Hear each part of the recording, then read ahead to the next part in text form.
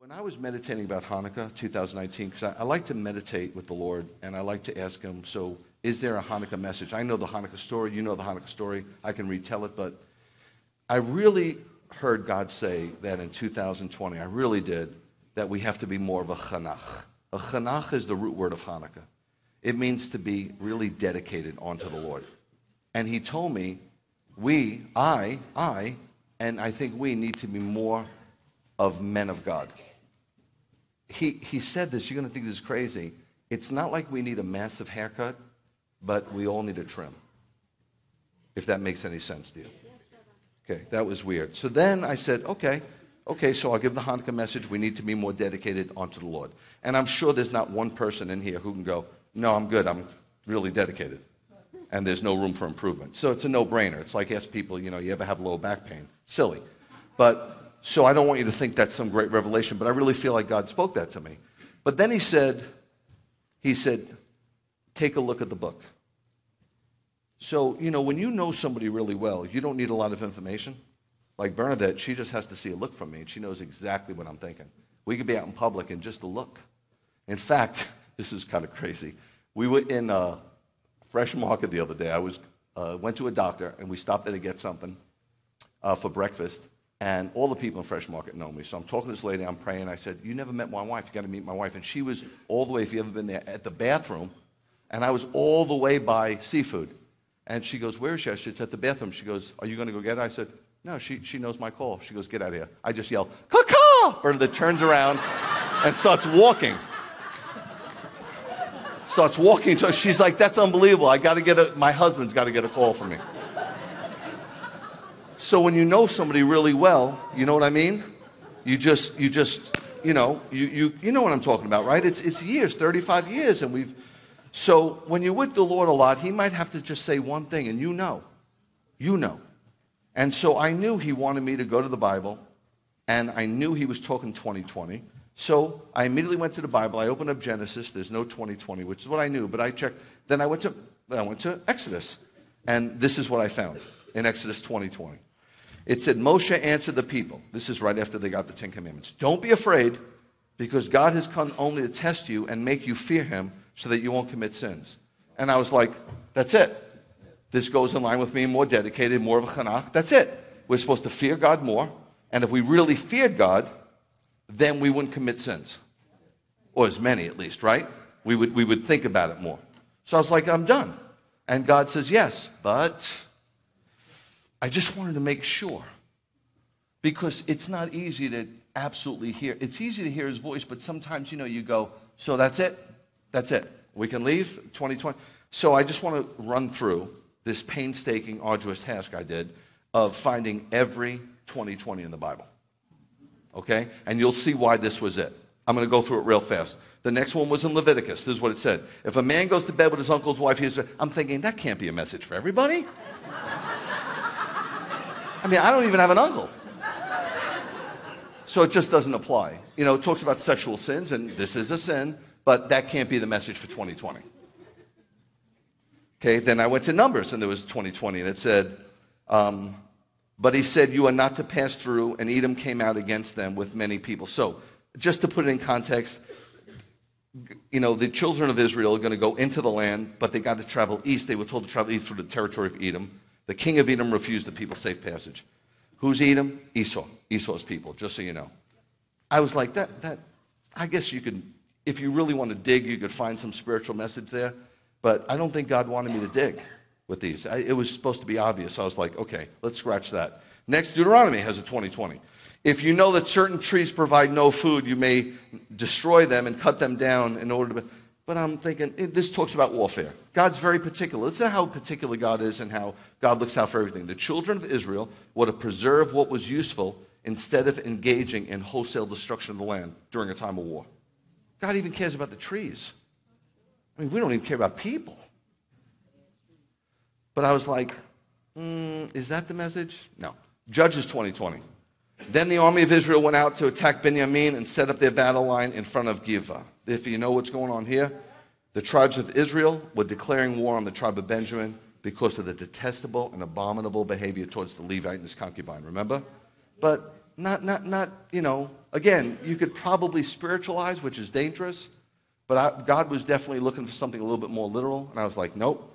Next, um, 1 Samuel 2020. I will shoot three arrows on one side if I'm shooting at a target. Okay. Jonathan shoots arrows to keep David safe from Saul. Next, 2 Samuel 2020.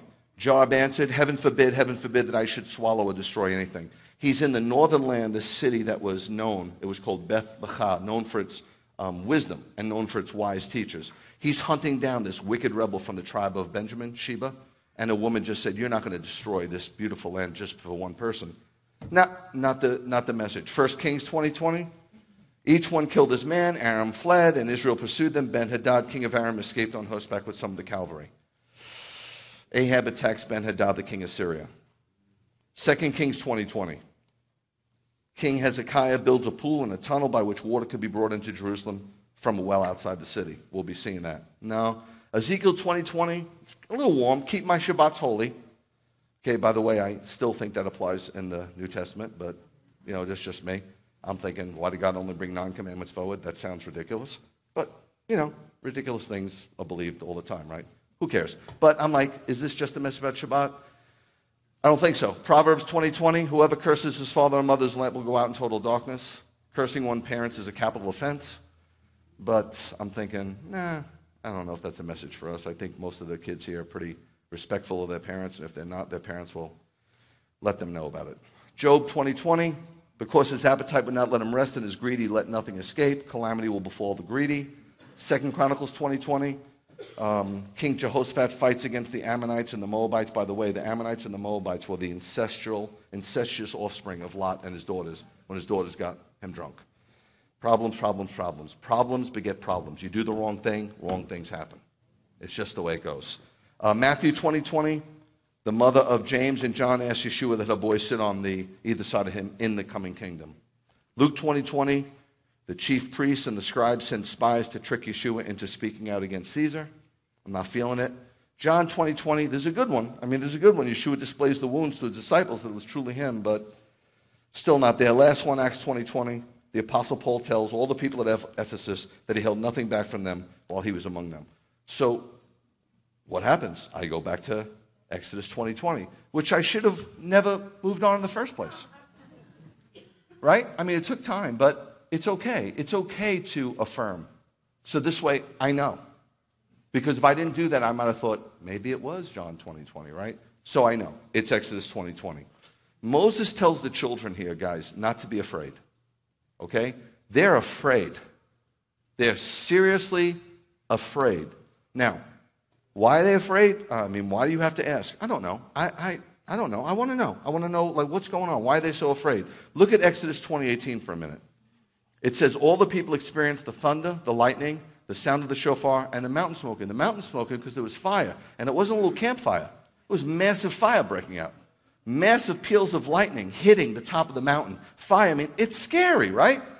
Some people are just scared of lightning as it is. If there's lightning or even the threat of lightning, get inside.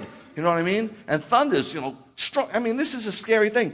When they saw it, when it says they trembled, they were literally shaking, literally shaking. But I think part of it was the fact that the last time they saw things like this was during the seventh plague of hail. It was fire and thunder, and, and I think they just equated that with judgment. You know what I mean? You know, if your dad comes home and says, Hey, I'm home, and then starts burning the place down, and there's thunder and lightning, you're not thinking it's going to be a good night for you.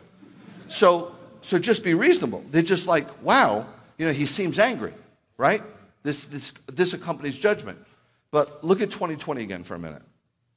This is really a very important message, I think. Really an incredibly important message. Just my opinion, but if I'm wrong, I've been wrong before. Moses tells the people, don't be afraid. He says basically, don't be afraid of the thunder or the lightning or the fire as if they were like one of the plagues of Egypt. He says, Don't be afraid of being consumed by them. They will not hurt you. Don't be afraid of dying by the hand of God. They're thinking they're, ta- they're going to be taken out. At his presence or by his voice, be of good courage, because the design of God is not to destroy you. You hear this? The design of God is not to destroy you or me, but to instruct us and to do us good. It says it all over the Torah. to do us good. That's what it says in the Bible. Whether you believe that or not, or feel that or not, I understand. That's your call. But that I'm going by what it says. Okay? To do us good. God did not come to kill them, but to test them. This is a big test for all of us. In both the Old Testament and the New Testament, they agree that a test means to prove by trial. Therefore, when God tests his children, when God tests us, his purpose is to prove that our faith is real or not. And he's proving that to us, not to him. He knows how we're going to do on the test. He, we need to know where we stand. And we only know where we stand when we're being squeezed. The question is would they, would the children of Israel take and own him, God, as their king and be subject to his laws? See, God is, God, it, it, it is a marriage covenant going on here. There's no ifs, ands, or buts. There is a ketubah, there is a best man, there is a bridegroom, there is a bride, there's music, um, there's everything. There's a chuppah, a cloud cover. And he's saying, God's really saying, and he's saying this to us today I will provide for you, I will protect you, I will bless, your soul will prosper. I will do all that. That's what I, that's my end of the bargain. Your end of the bargain is to obey my ways. That's what you're vowing. That's your part of it. You can't name it and claim it. It doesn't work. No how, no way. So will, will they do this? And so the test basically is the Ten Commandments. Here's your exam. Take it. Let's see how you do. Are you going to fear me and obey me, or are you not? And listen to me. When you don't, there will be consequences. Forgive me, but when I hear parents go, one, one and a half, are you giving him a math lesson? Timeout. No, knockout. Knockout. Timeout. Go to your room with your PlayStation and your TV and the plethora of toys that you have.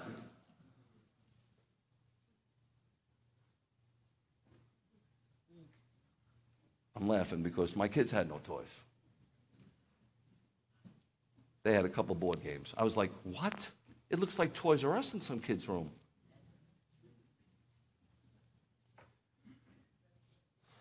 Moses says that testing is there so we would fear God and keep us from sinning. Yes, that's that's God's MO. That's God's objective to keep his children from sinning because sin is messed up. Sin messes us up and everybody around us. Sin messes the world up. They needed an eternal sacrifice in the Holy of Holies twice a day just to keep a piece of God's manifest presence there. Otherwise, he would have to leave. That's how messed up sin is. Does everybody realize how messed up sin is? And we live in a different age today. Today it's like, I've got to be happy. And I'm in a relationship and I'm just not happy. And I'm sure God would want me to leave because God wants me to be happy. God wants you to be holy, sister.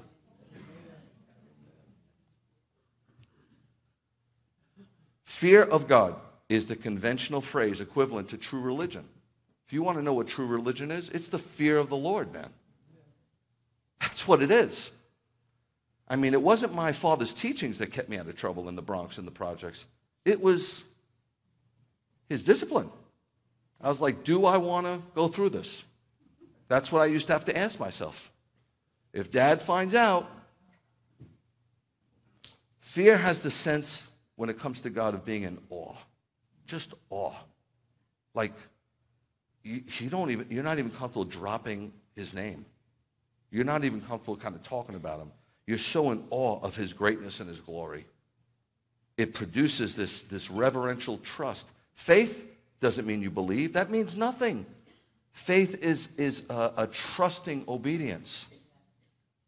Faith always has to prove itself, it, it produces obedience. That's how you evidence that you have faith. Just saying you believe, the devil believes Yeshua is Lord. And quoting scripture is wonderful. But that's not what God's looking for. He's looking for a reverential trust that includes a commitment to his revealed word. Therefore, when God gave the children of Israel the Ten Commandments, it defines the life that God calls his people to live with him and with each other. Can you imagine? I mean, can you imagine a society without laws?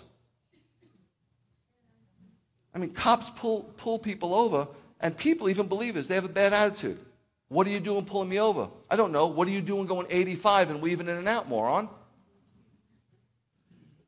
This guy's making 40 grand a year, and every time he walks up to a, a car, he's got the potential to be shot by some nut who hates him just because he's a cop. He's enforcing the law. The laws are there to protect. He's serving and protecting.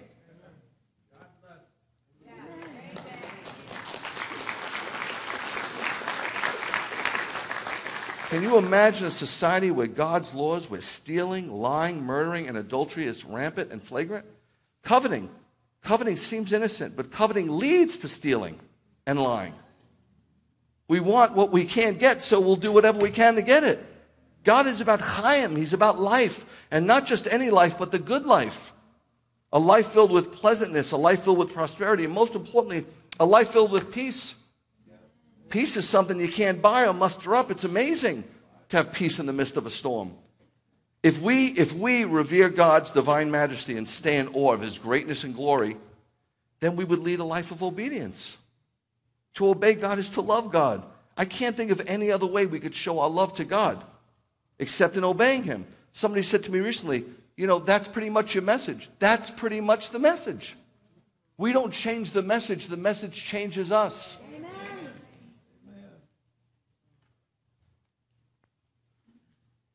I think this is what God is calling us to do this year and next year. I think God is telling us to trust Him more through a greater level of obedience. God is saying, you know, this sentence is crazy because you see afraid and fear. God's saying, don't be afraid, fear.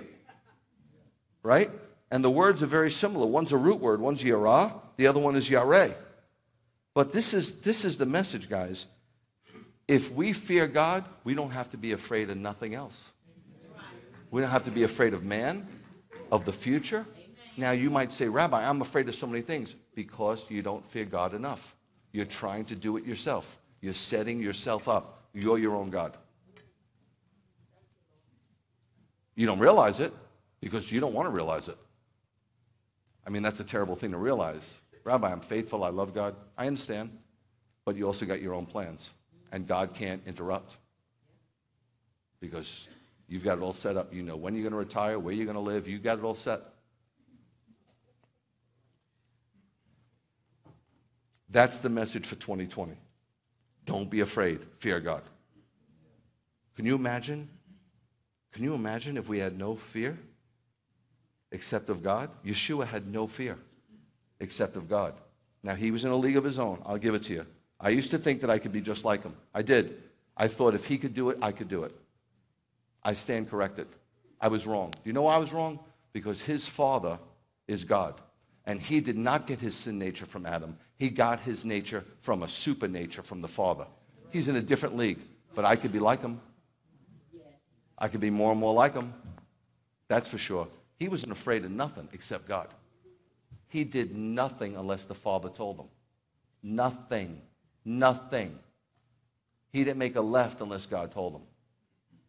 Amazing. Just amazing. Here's my question though. Okay, so that's okay, that's okay, that's the message, right? Go home, good, fear God more, trust him more, obey him more, and let's get rid of these stupid fears of everything. The future, health. It's crazy. It's killing us. It's killing us. Not for us. It wasn't meant for us to be so fearful. It sucks the life out of us. Yes, we pray. Yes, we love God, but it's killing us. It's stressing us. What's going to happen my kid? What's going to stop worrying? If God is God, fear him, obey him, and let him handle it. I was on the phone three hours with this Jewish man. He wouldn't let me off the phone. He said, You're not pushing me. You're not trying to persuade me to believe in Yeshua. No, I can't persuade you to believe in Yeshua. I lift them up to you. and I'll answer any question you have. He wouldn't let me go because he said, anybody else that ever talked to me, they just kept hammering me. I go, no, no, I'm not going to hammer you. He got hammered for you. But at the end of the, I said to him at the end of the conversation, three hours, I said, listen to me. And I said this to somebody else, a friend's father recently. I said, when I get off the phone, I just want to be honest with you what I'm going to do. I'm going to get on my knees and I'm going to ask God to nail you like only He can. Just, I don't want to, I don't want to lie to you. And that's what I did. Nail him, God. Nail him like only you can, just like you nailed me at the Mount of Transfiguration. Nail him.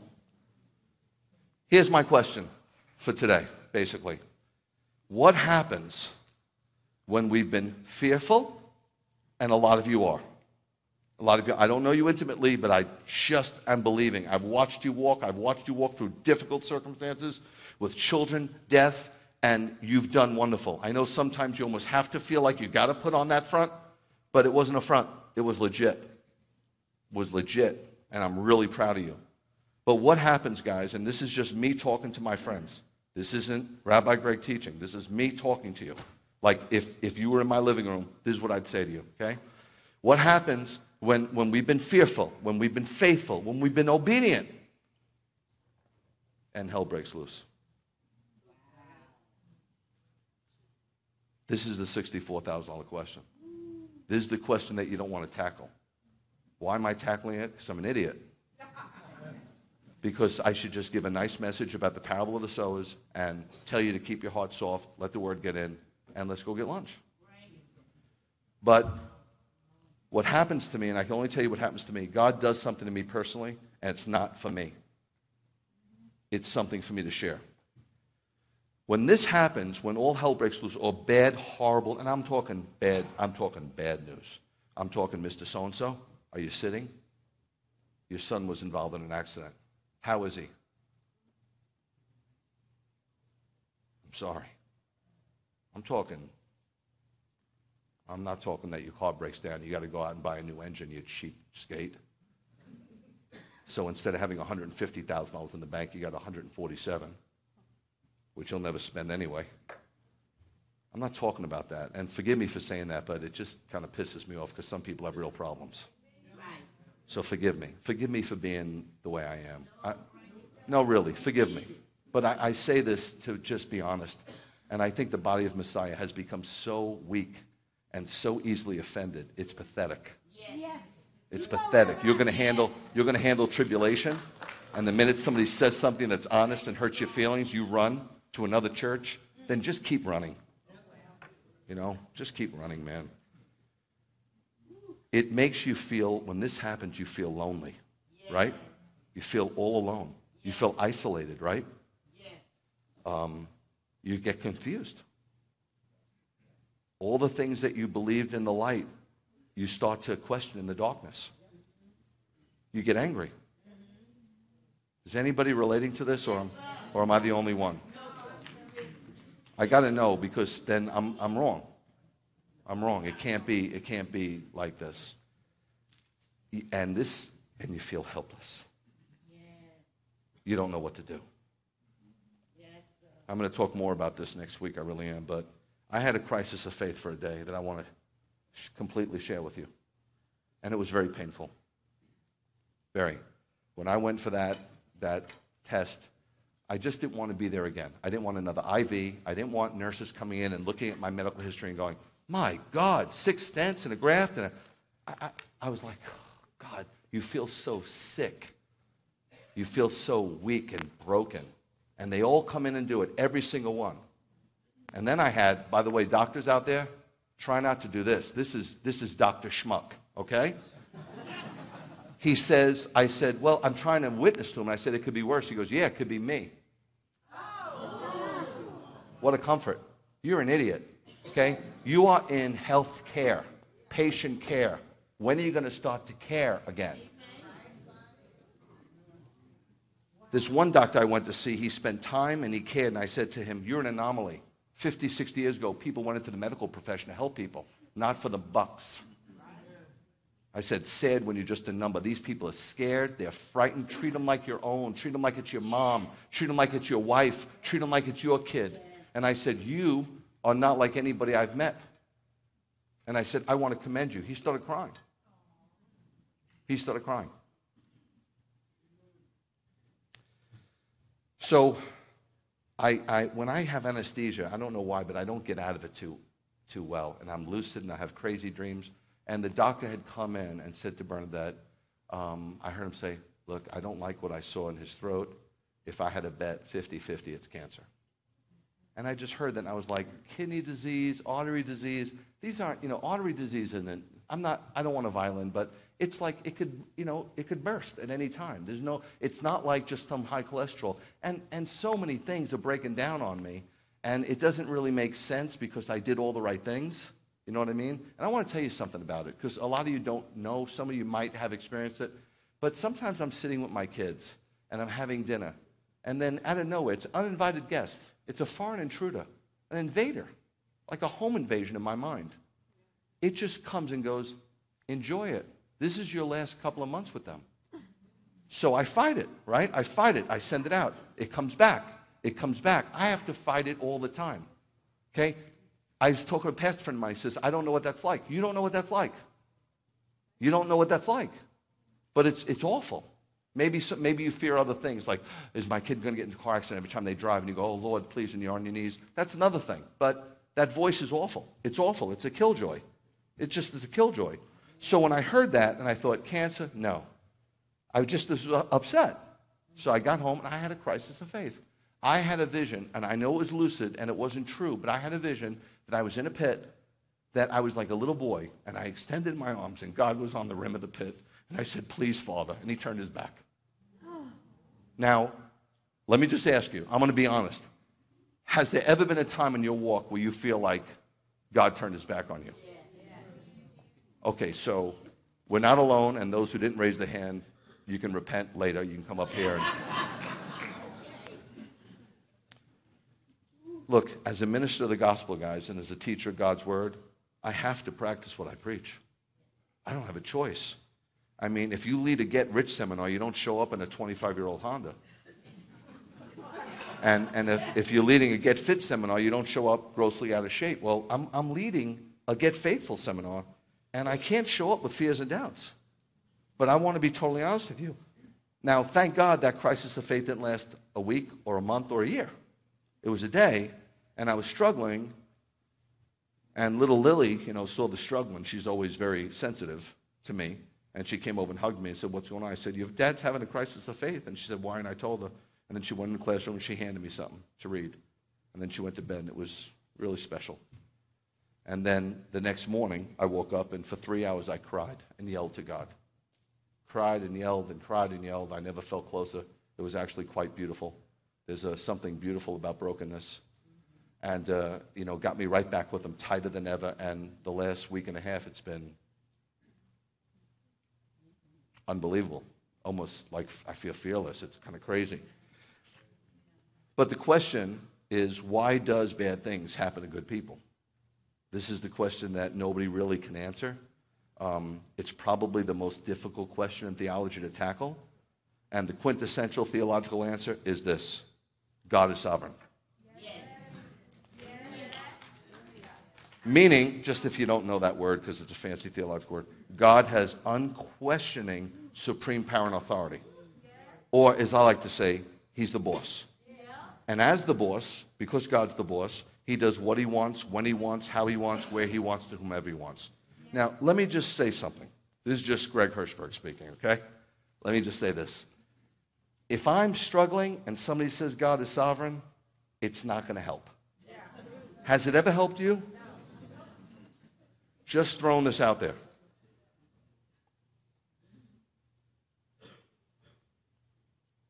Asking somebody to just accept that is a very hard pill to swallow, yes. especially when you're in the midst of the storm. When you're not in the midst of the storm, it's very easy for you to give advice. You're great at giving advice.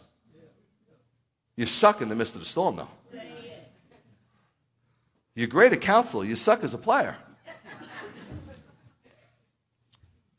God's sovereignty, this is just me speaking. And if I'm wrong, God forgive me and, and, and family forgive me. But God's sovereignty backs us up into a spiritual corner and causes us to lay down and surrender our will. God's sovereignty causes us to spiritually tap out and say, okay, God, fine, you win. Yes. Have you ever gotten mad where you almost say to God, I'll show you. I'll take it. I'll keep taking it and taking it. You give it. Go ahead. I'm, gonna, I'm not giving up. You're not going to make me quit. And it's not him doing that. First and foremost, when trying to answer this question, we have to acknowledge the fact that as finite human beings, it is just not possible to understand an infinite, omniscient, and eternal God, nor his plans and purposes. Forget about it. We live in the, the, the highway of information, but that's something you're never going to get downloaded. As difficult as that is, what I just said, it is what it is, and nothing you're going to do is going to change that. Secondarily, we like to think of ourselves as good people. We do. Especially, you know, with all the things I'm doing, you would think, you must think of yourself as a good person. I don't. I never think of myself as good. Never. Ever. I don't feel good much of the time. I don't ever feel holy. Never. So, what's the benchmark or the yardstick for good? That's the question. This is what the Bible says. I'll just give you a few scriptures. In Psalm 14:3, this is, this is David, and then Ecclesiastes, King Solomon, Romans, of course, the apostles of the Gentiles, great apostle Paul, and the, and the disciple Yeshua loved. So you have a plethora here of scripture, and you read it for yourself. You know what it says. Men are not only sinners by nature, but by action as well, meaning we have a sin nature. That's why the Bible makes a distinction. You'll read a lot in the letters, especially 1 John, 1 John, um, um, maybe the eighth verse in the first chapter, and then the ninth verse, it says sins and sin.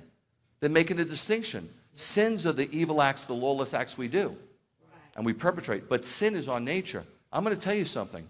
No sin you ever do will be as bad as your sin nature.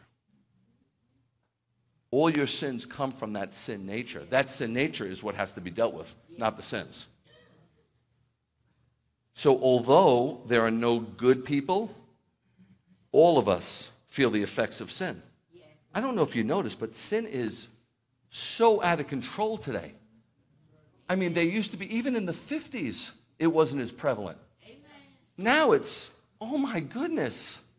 I mean, New South Wales is burning, right? New South Wales is burning in Australia. We have a congregation in Australia, so I'm, I'm in touch. New South Wales just passed a week before it started burning full term abortions, meaning a woman could carry a baby for 40 weeks and then you can kill it as it's coming out. But listen, guys, I'm here to tell you sin is flagrant in the body of Messiah. Flagrant.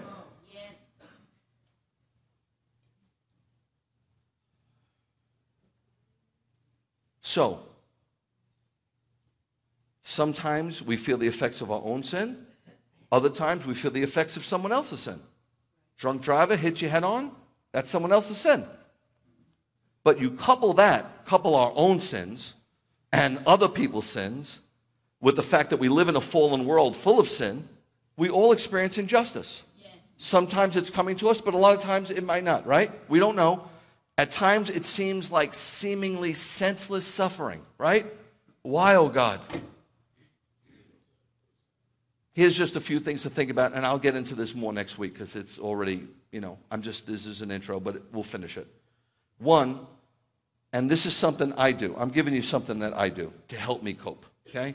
The bad things that happen to us in life are confined to this world.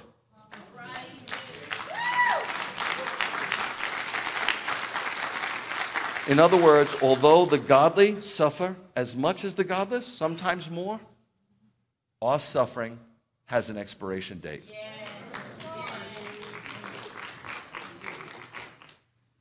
We have an eternity. I know you hear me say this all the time. Why do I say this so much? What would you like me to say? Living in a world that has so much sadness and sickness and sorrow. We have an eternity without pain. No pain. It's, you can't fathom it. I can't. I really can't. I can try to fathom it, do the best I can, and it makes me very happy. No sorrow, no sickness. Don't lose your faith, sweet pea, because you lose your faith, you lose this, you lose this, you are done. There is no way you're ever going to be happy. None. Because happiness in this world is fleeting. Although we exercise, is that smart to do? Of course it is. Although we eat healthy, is that smart to do? Yes. And although we take our fair share of supplements, only our spirits and our souls will be redeemed in this life. I know everybody in this world is holding on to their youth. I get it. So, you know, God forbid you have a wrinkle. Our bodies will suffer. This isn't bad news. They will age. They will die. They will. I know you look great. Somebody tells you, wow, you're 60, you look great, and you get all excited. Let them tell you your spirit looks great. Let them tell you your character is great. When's the last time you heard that?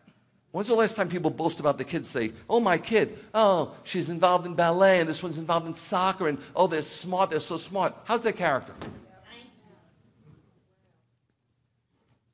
As believers in the God of Abraham, Isaac, and Jacob, through the bloody sacrifice of Yeshua the Messiah, we will have a reward someday, and it shall be glorious. And you hold on to that, sister.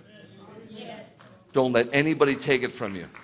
I never get tired of this verse, Revelation 21 4. Never. I read it eight million times, I won't get sick of it. He will wipe away every tear. I'll stop right there. I'm good with that. I'm not boasting, but there ain't a day that goes by that Burn and I don't cry. We have a lot of good times. We have a lot of laughs. Obviously, we have a great relationship.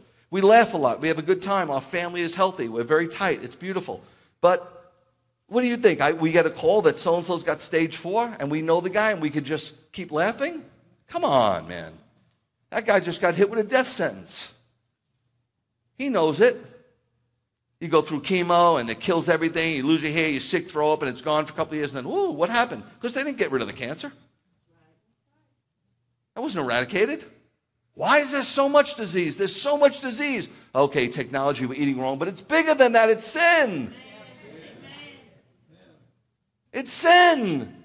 We were supposed to give the earth a 70 year rest. I don't care how organic you eat, the soil is depleted of minerals because we had to make money in that seventh year. Why should we let it rest? We'll lose money. Now we're losing our life and losing our mind. There will no longer be any mourning. Hallelujah. Man, I read that. This is, I'm not preaching, I'm excited. By taking a small bit of hell now, our heaven is becoming more and more heavenly. There is nothing in this where I've been all over. It all looks the same. I could care less. I don't care. I'll take my kids to the to the to Italian Riviera and I'll take them to Crystal and I'll have just as good a time, maybe better, because I don't have to pack and spend three grand. so the bad things are confined. I'll get into more of this next week. Two, almost done, almost there, because we choose to believe that God is good, and it's a choice. It's just a choice. It's not it's easy to make that choice, especially in the midst of the storm, but we choose to believe that God will bring good from it all. We've heard it a million times, right? Look, look at the scripture. You know the scripture, you've heard it a gazillion times, Romans 8 28, right? We know. See, it's a matter of we we know. Gnose. We absolutely we are intimate with this truth. It's, it's in the fiber of our being, it's in our spirit. We're marked, we're sealed. We know that God causes everything to work together for the good of those who love God and are called according to his purpose. So, it may not always seem so. A lot of times it doesn't, right? And you don't want somebody running up to you just when you got the terrible news and going, Romans 8 28. I feel like saying Acts 2.38. What does that say? I wish I had an axe and two 38s.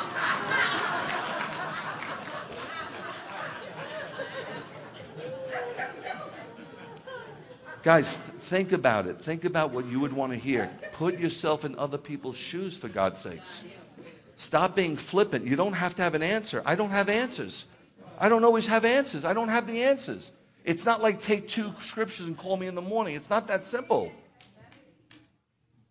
Sometimes when we are suffering heartbreak, tragedy, I'm talking heavy stuff, disappointment, frustration, and bereavement we wonder what good could possibly come out of this. But listen, the next verse gives us the answer. Everybody stops right here. Look at the next verse. Because those whom he knew in advance, he also determined would be conformed. Conformed. or become like Yeshua. The word in the Greek is mimetes, which we get the word mimic. We're supposed to, the whole idea, once you, once you come to know God, you are going to go on a path of Him molding and shaping you into Yeshua. And it's not going to come through blessing. It doesn't. It doesn't. Guys, it doesn't. Has it, has it, has it for anybody here? Tell me. Whatever God permits in our lives, and nothing goes by his desk without his stamp of approval. Amen. Now, did God want you to get divorced? No. Doesn't mean he. Did he permit it? Or did he make it happen? Did he promote it? No, he, you can make any decision you want. Not everything is beneficial, but everything is permissible. You, God's not going to force you to make. My, a couple of my kids are grown. I can't make decisions for them. No. No, impossible. But nothing surprises him. He, he can permit or limit, he can, but he permits things. But if it's designed to conform us in the image of his son, it takes the question mark out of our prayers. We don't have to wonder what's going on. That's what's going on. Therefore, our lives are not controlled by impersonal forces like chance, luck, or fate, but by a wonderful, personal, intimate God who is too loving to be unkind and too wise to make a mistake.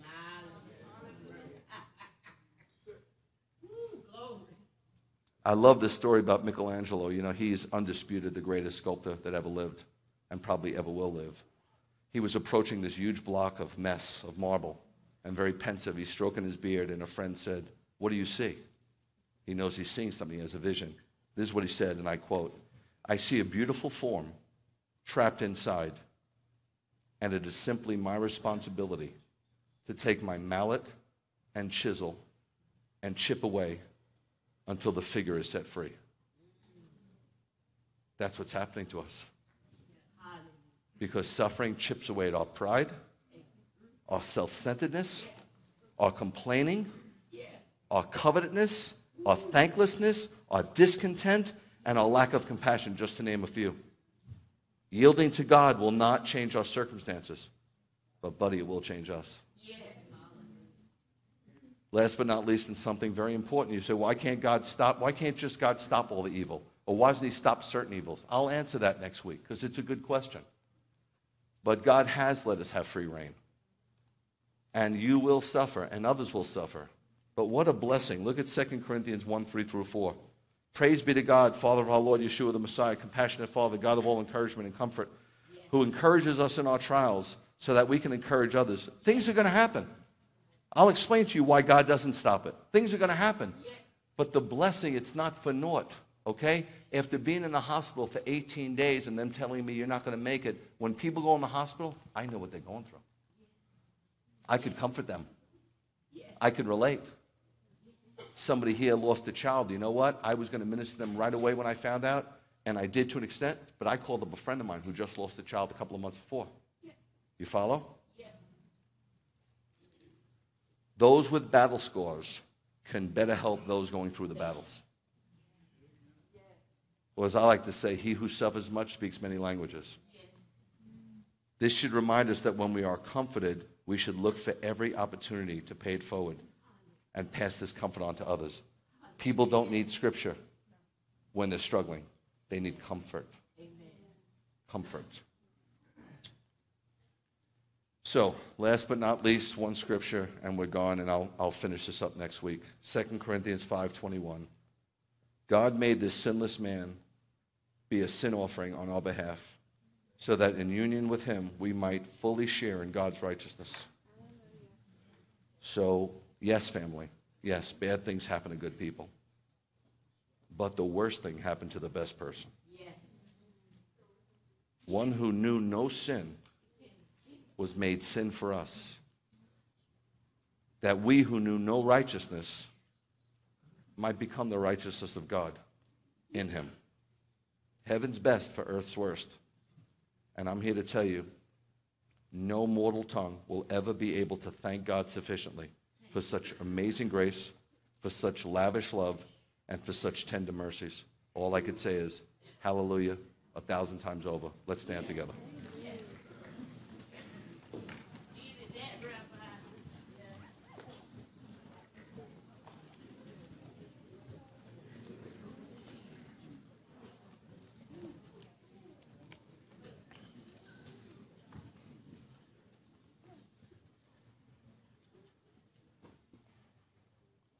Um, next week should be pretty, pretty juicy when we when we finish that. It will be pretty juicy.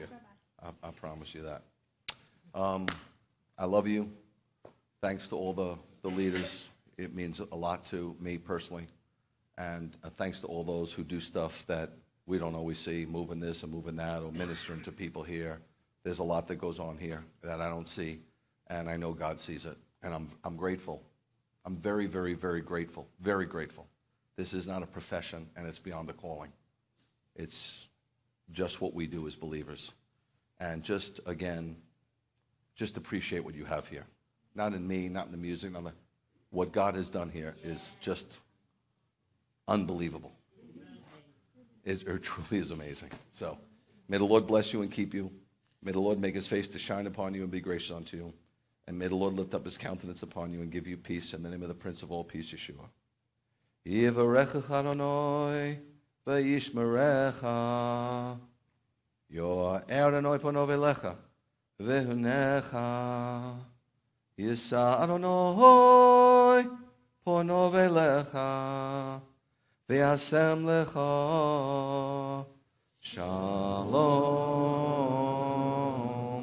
I love you guys. Shabbat shalom.